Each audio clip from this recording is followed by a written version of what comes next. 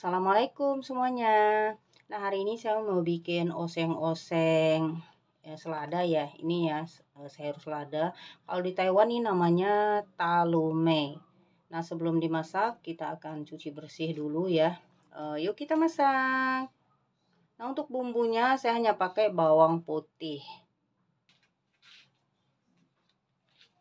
Pertama panaskan minyak, saya pakai uh, olive oil ya secukupnya saja.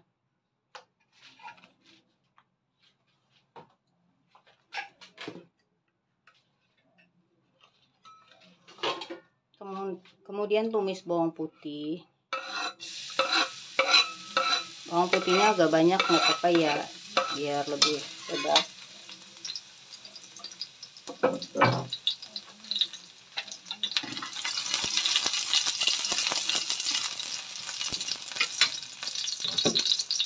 kemudian masukkan selada atau talume yang udah kita cuci bersih. Ini ya masukkan semua.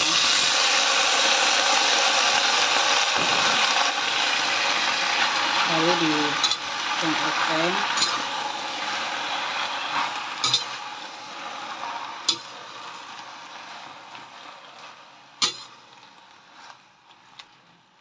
masaknya gampang banget ya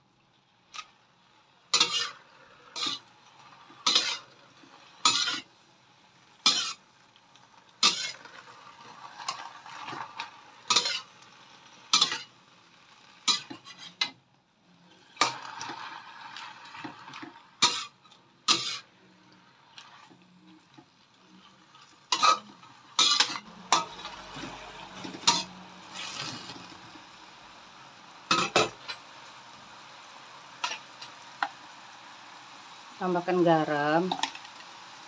Tambahkan penyedap jika suka. Lalu diaduk-aduk kembali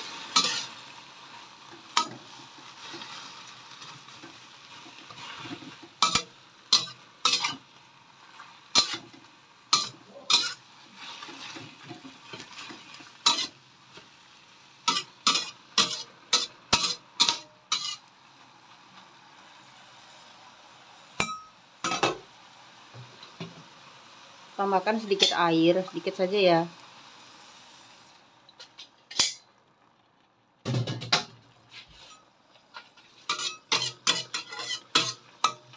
Kemudian tutup sebentar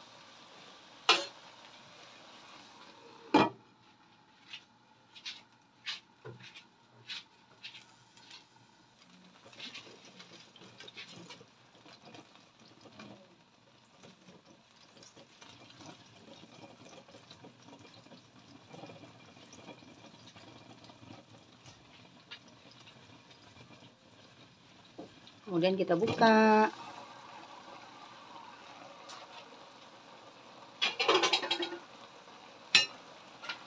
Nah ini masaknya nggak perlu lama-lama ya. Biar dia tetap hijau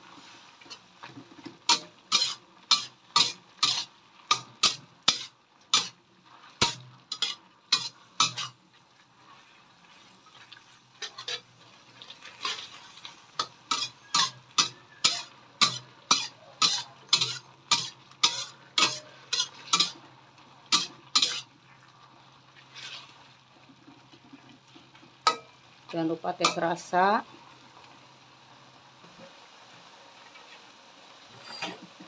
nah ini udah matang siap diangkat. Kemudian matikan kompor. Ini kita angkat. Masaknya jangan lama-lama ya. Biar sawi apa seladanya tetap hijau warnanya tetap hijau